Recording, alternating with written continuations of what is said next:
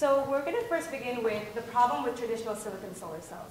So as you may all know, they're heavy, they're expensive, they don't necessarily look that great, and they're in, uh, primarily in industrial applications, and they also require direct sunlight to function. What's revolutionary about dye solar cells instead is actually that they're low cost, they're aesthetically pleasing, as you can see in that picture, and they actually can even work indoors in lighting like this. Um, the overall objective of our study was to study dye-sensitized solar cells from a technical and business perspective. In terms of the technical objective, we wanted to fabricate our own working cell, and we also wanted to work on improving cell efficiency. Um, from a business perspective, we wanted to understand the commercialization potential of the technology and also understand what target consumer segments would be best suited for this technology. So roadmap for today, we're going to begin with the background and then the fabrication procedure, and then we're going to move on to the live demonstration. And then my partner Andy is going to move on to research components one, two, and three, which are based on how to improve efficiency, and then research component four, which is commercialization, and then finally a conclusion. So how exactly does a dye solar cell function? So what happens is that photons of light hit the dye, the electron is excited within the dye, which then gets transferred to the TiO2 conduction band, which moves to the anode finally, so once the electron finally leaves the dye, it leaves behind a positive charge, which the iodide capitalizes on and actually transfers to the cathode using a redox reaction. So I know that was a lot of information. So basically, all you need to know is that light comes in, the electron moves one way, and the positive charge moves the other way, completing the circuit. Performance metrics. Solar cell efficiency is really important, and it's based on four different factors, current, voltage, fill factor, and incident power. So as you can see, that's an IVD curve. You have um, current on one axis and voltage on the other. And the most important part of the efficiency calculation is most definitely the fill factor, which is basically the ratio of the purple box to the red box.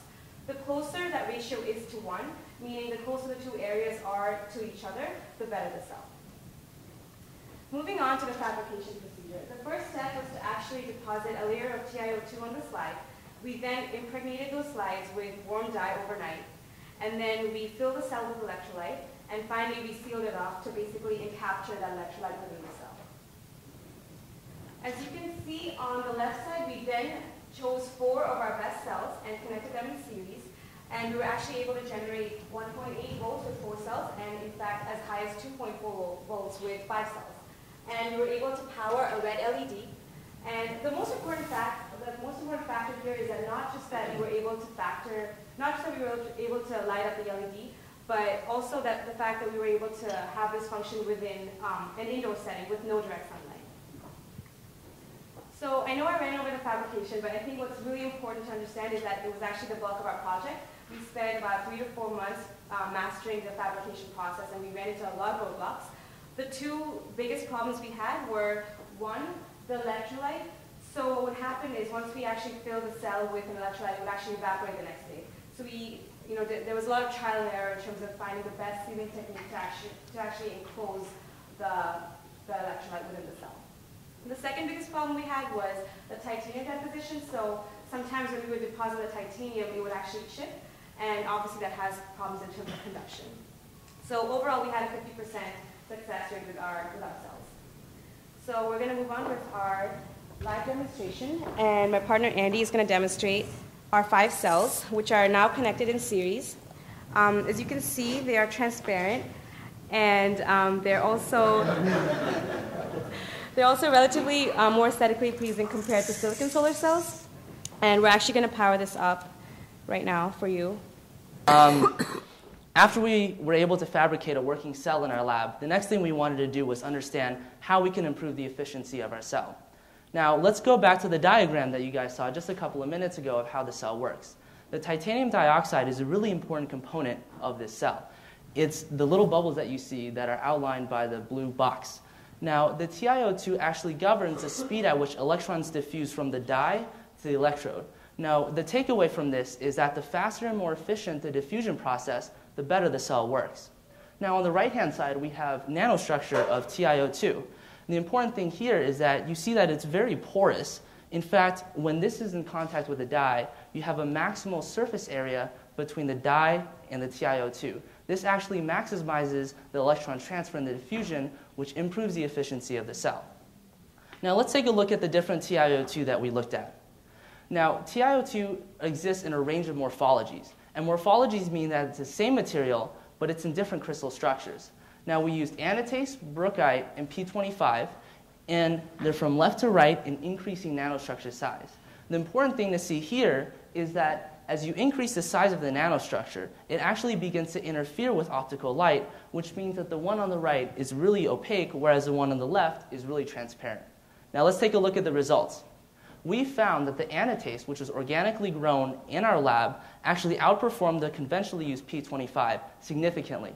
This was a really interesting finding because this is something that we did in our lab, and we're kind of comparing it to the industry standard.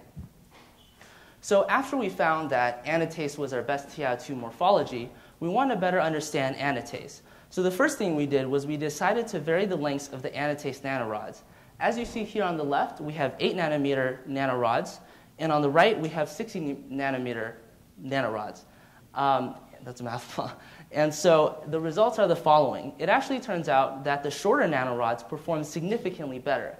And we feel that this is due to the fact that there's increased surface area and more contact between the dye and the TiO2, as we mentioned earlier. Now, after we were able to improve the anatase, we also want to improve how we can fabricate it differently to improve the cell. Now, the following, we did the following. First, because anatase is grown in an organic solution, a lot of oleic acid is a byproduct of the synthesis, which attaches onto the anatase after the synthesis. Here's the chemical structure on the left-hand side.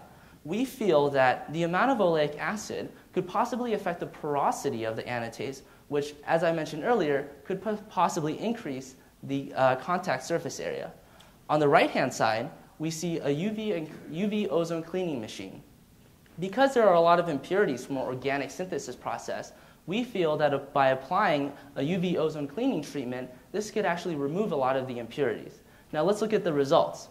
By increasing the solubility, which means increasing the amount of oleic acid on the anatase, we're able to improve the cell efficiency by 15%. On the right-hand side, we're able to improve the cell efficiency by 32% by applying UV and ozone treatment. Now let's move on to the last part of increasing efficiency. By changing the thickness of the cells and the resistance of the cells, we're actually able to make the cell do perform a lot better. We compared thick 8 ohm resistance cells and we compared that to thinner 15 ohm resistant cells. Now, we, we got what we expected, the less resistant cells performed better. Now, let's move on to the exciting part, the commercialization potential. So I'm going to go back to what Tanvi mentioned in the beginning, the three cool things or exciting things about dye-sensitized solar cells. They're low cost, they're aesthetically beautiful, as you can see here, and they work indoors, as we just demonstrated just a couple of minutes ago, without any sunlight at all. So let's think of a situation. Let's say you have a layover at JFK and it's 2 in the morning. You, just, you forgot to charge your phone for the day, or you need to charge it. And you're running from gate to gate. You don't have time to sit down next to an outlet. outlet. Now, if you had just a regular silicon solar cell, well, you're out of luck because the sun's on the other side of the world. It's 2 a.m. But if you had a dye-sensitized solar cell, you can be charging your phone as you walk by drawing power from the fluorescent lights in the airport. That is really exciting. So the first application we feel would be great is handbags and dye-solar handbags that you can carry with you. Now let's say you want to decorate your home and you want to be technologically savvy, but you also want to make it look cool. So one thing that we propose is that we can actually have really cool looking flowers and other home decor that you can brag, about your, brag to your friends about that's really technologically savvy and also looks great. Now finally, let's say you're designing your home and you want to add some sunlight to your house. You also want to harvest some of the sunlight that you're adding to your house. So what can you do? You can use dye-sensitized solar cells for skylights and for windows, as you can see on the right-hand side, to harvest the light while increasing the, uh, the, uh, the, the energy savings of your home. Now, moving on to the driving forces and the restraining forces. We feel in this, for this technology, the driving forces are that it's really cheap, it saves you a lot of money, it reduces the carbon footprint, and because there's so much buzz about charging your iPods, charging your iPhones, we feel that it's a rapidly growing segment that has not been targeted by solar cell technology yet. However, some restraining forces. We feel that the industry is currently semi-entrenched in silicon solar cells. In fact, the industry has already invested a lot in bulk silicon solar cells for industrial power. We also feel that because there is a liquid component in the, in the solar cell, this could, uh, this could pose safety hazards if, this, if the dye were to leak or if they were to break. However, despite these concerns, we feel that there's a great potential for dye-sensitized solar cells. Based on our research and some other research, we believe that the market will reach 470 million by the year 2015. The two main takeaways from the commercialization feature is that this is a consumer targeted technology. In addition, it's for small scale applications. We're not talking about powering cities, we're not talking about you know, finding the next replacement for coal. We're talking about charging your phone when you need it when the sun's not out. So let's look at, let's kind of do a recap of what we talked about today. We fabricated a working cell. We found that anatase was the best TiO2 component. We found that shorter nanorods perform far better than longer nanorods. We found that by uh, increasing the solubility and applying a UV ozone treatment, we're able to improve the efficiency of the cell by 15 and 32% respectively we found that the thicker, lower resistance cells perform better. And most importantly, we feel that dye-sensitized solar cells technology will universalize, will universally change the, uh, the solar cell landscape going forward in the next five or 10 years. With that, we'd like to thank Professor Murray, Tom, Duncan Co. for their help, and we'd like to open up the floor to any questions.